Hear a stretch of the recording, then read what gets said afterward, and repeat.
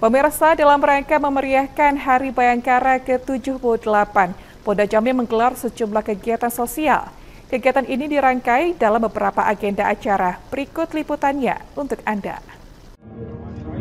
Kapolda Jambi Irjen Pol Rusti Hartodo didampingi para pejabat utama Polda Jambi melepas keberangkatan mobil logistik yang mengangkut 8.000 paket sembako untuk masyarakat di lobi Mapolda Jambi pada Selasa 25 Juni 2024. Tampak senyum sumringah di wajah para peserta penerima paket sembako yang diserahkan Kapolda dan sejumlah pejabat utama.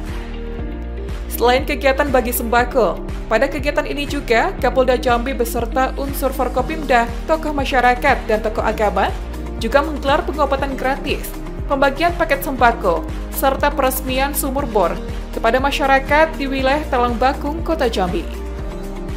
Dikatakan oleh Kapolda Jambi, Irjen Pol Rusdi Hartodo saat diwawancarai. Kegiatan ini merupakan rangkaian kegiatan dalam peringatan Hari Bayangkara ke-78. Di momen ini, Jenderal Bintang 2 ini mengharapkan doa dari masyarakat agar dapat memberikan yang terbaik, khususnya bagi masyarakat Provinsi Jambi. Hari ini Polda Jambi beserta jajaran melaksanakan kegiatan bakti sosial, bakti kesehatan.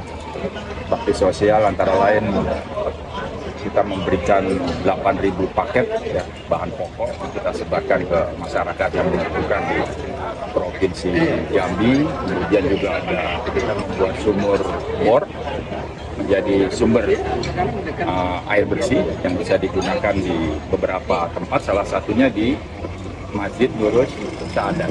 Itu ada bakti kesehatan di sana. Kita memberikan pelayanan kesehatan bagi masyarakat yang membutuhkan. Ya, ini rangkaian daripada hari ulang tahun Bayangkara yang ke-78. Halim Adrian, Cek TV melaporkan.